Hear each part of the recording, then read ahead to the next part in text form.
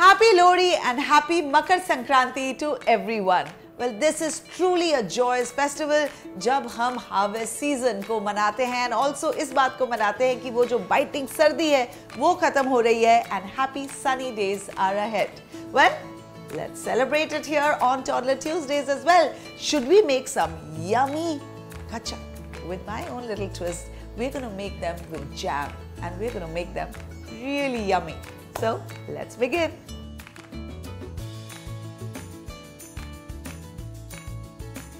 Okay तो ये गचक हम बनाएँगे सेसमे सीड्स यानी कि सफ़ेद तिल के साथ जो बहुत ही ऑस्पिशियस बहुत ही स्पेशल माना जाता है। एंड संक्रांति में लोहड़ी में हमेशा इसके लड्डूज बनते हैं। इसमें बहुत वार्मथ भी होती है। It keeps us all warm in winter season and कहते हैं कि this is actually the food of gods so we are to dry roast these for a little while Oh, look at the way this is popping. Okay, this is beautifully done. And we're going to take this out on a plate.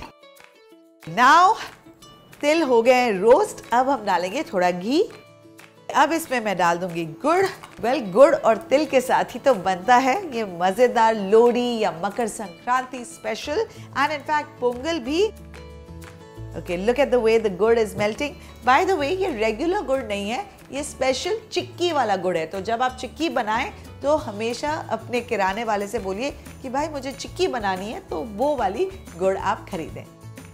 और right right, अब गुड़ melt हो गया है। अब इसमें हम डालेंगे हमारे रोस्टेड तिल को।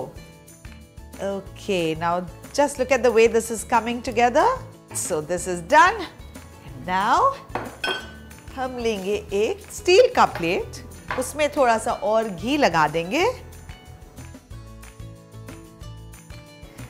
राइट अब जब हम ये गरम गरम मिक्सचर डालेंगे it will automatically melt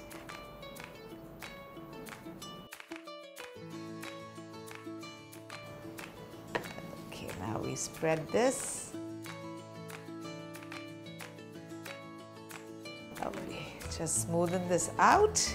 And अब इसे थोड़ी देर ठंडा होने देंगे फिर हम कुछ मस्ती करेंगे इसके साथ।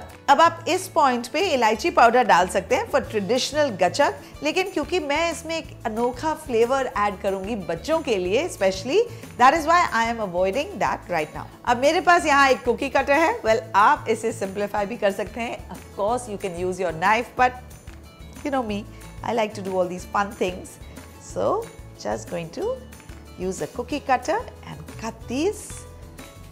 Into beautiful kite shapes.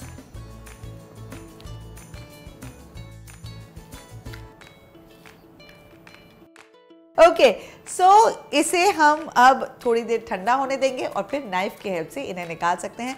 तो इंश्योर कि जो आप कटिंग करें या शेप करें, वो तब करें जब वो थोड़ा गर्म हो। बहुत ठंडा हो जाएगा तो इस तरह से अटक जाएगा। इसे मैं बाद में निकालूँगी। फ़िलहाल तो यहाँ मेरे गचक तैयार हैं, जो ठंडे हो गए हैं, उन्हें मैंने निकाल दिया है। Just see how cute they look well they will look cuter after all the magic that I do with it तो यहाँ मेरे पास है सम स्ट्रॉबेरी जैम और इस स्ट्रॉबेरी जैम की रेसिपी भी मेरे यूट्यूब पे है तो do check it out and now I am going to apply to my gachak. तो इलायची मैंने इसीलिए नहीं डाली थी बिकॉज़ ये जैम का फ्लेवर जो है, वो इलायची को उसके साथ बहुत कंपीट करता है right just like this I am going to add the jam और rather spread the jam on all of this gachak bites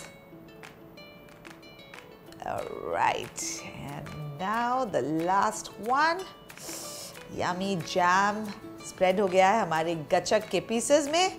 बस For the final presentation, you will have a lot of fun, I promise you. This is the part I get most excited about because this is actually the most tricky part. बन गए तो बन गए नहीं बने तो जय माता दी ये उठाएंगे एक piece first and here I have some chocolate threads.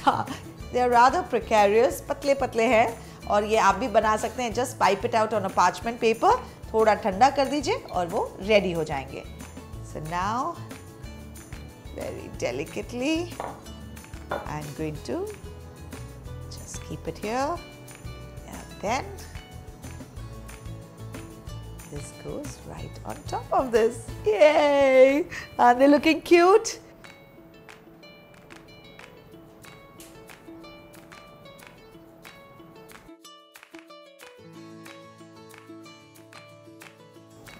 There you go.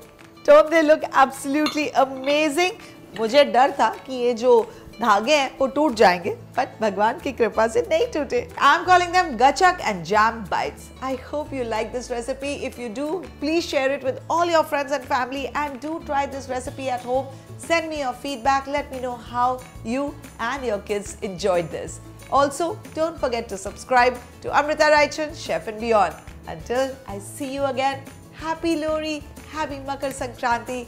Enjoy your day and enjoy this beautiful season. Bye